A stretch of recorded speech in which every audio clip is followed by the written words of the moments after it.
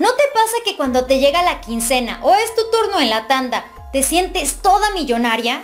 Aunque realmente en tu cartera tengas al menos 20 pesos, sientes que puedes comprar todo el mundo. Esto realmente le está pasando a Alejandra de la Fuente, hija de la conductora peruana Laura Bozo.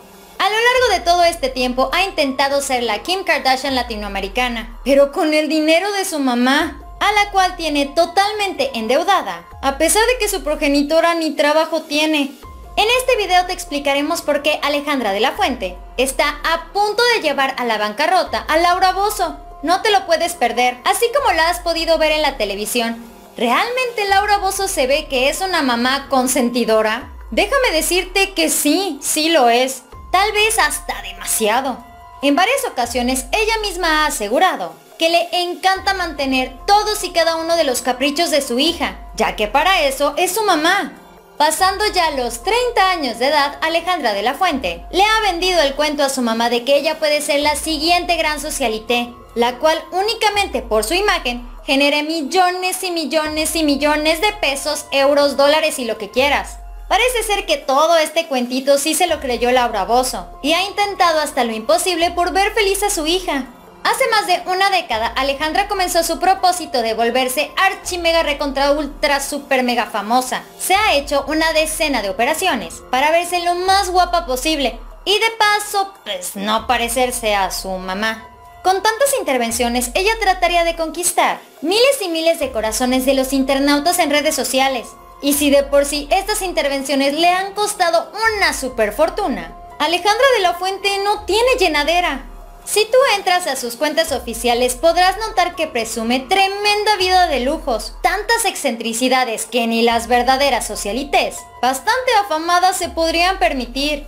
Ahora sí podemos decir que ni Kim Kardashian. Autos de super lujo, viajes carísimos, paseos en yates, hoteles de 50 mil estrellas y ropa de marcas extra mega exclusivas. Esto es lo que Alejandra Fuentes está acostumbrada a presumir en sus cuentas. Pero a pesar de que han pasado más de 10 años intentando despegar, ella no llega ni a los 400 mil seguidores. Digo, no es un mal número, pero a pesar de que le está metiendo tanta lana, era para que mínimo tuviera un milloncito.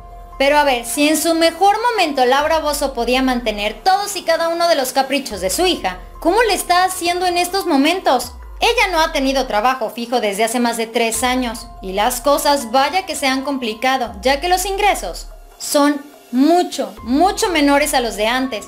Pero a Alejandra parece que no le importa esto y sigue gaste y gaste y gaste y gaste y gaste.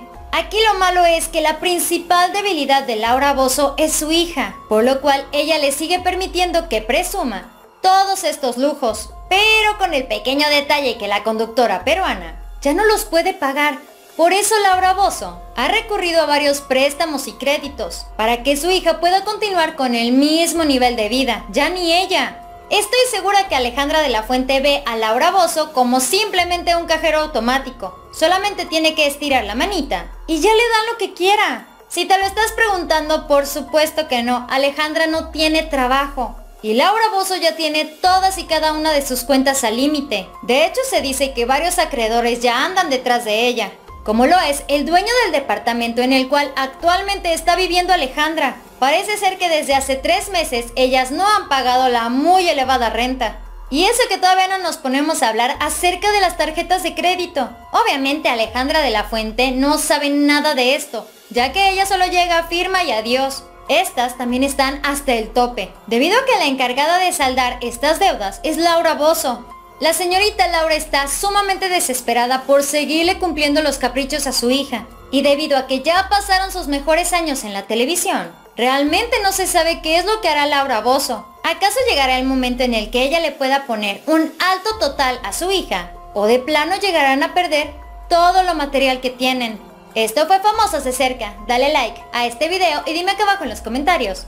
¿Tú qué opinas de la actitud y las acciones que ha tenido la hija de Laura Bozo? ¿Crees que desde un inicio los padres le deberían de decir a sus hijos que ellos, al momento de llegar a una edad específica, sus gastos tienen que correr por su cuenta y no por la de sus padres? O definitivamente, si se quiere, los papás pueden seguir chiqueando a sus pequeñitos hasta la eternidad. No te vayas sin antes suscribirte a nuestro canal de YouTube dando clic aquí abajo, al igual que seguirnos en nuestra página en Facebook. Espero que tengas un excelente día, nos vemos muy pronto. Bye.